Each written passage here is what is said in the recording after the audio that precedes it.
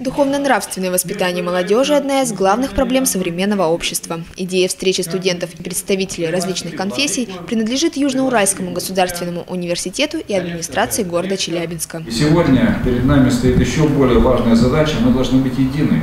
Мы должны быть единой многонациональной семьей, которая живет дружно и у которого единые цели жизни в нашем государстве. В ходе конференции представители конфессий затронули вопросы предупреждения и предотвращения межрелигиозных конфликтов. Также студентам ЮРГУ рассказали о возможностях улучшения межнационального общения и предложили несколько способов решения актуальных для современного общества проблем. В первую очередь надо уважать свою традицию, свою культуру, свои национальные корни. Тогда будешь уважать и другие. И нас будут уважать, и с нами будут считаться. В конце встречи встрече митрополит Феофан и муфтий Аринат ответили на самые актуальные для молодых людей вопросы. Также представители разных конфессий высоко отметили заинтересованную и активную работу студентов ЮРГУ.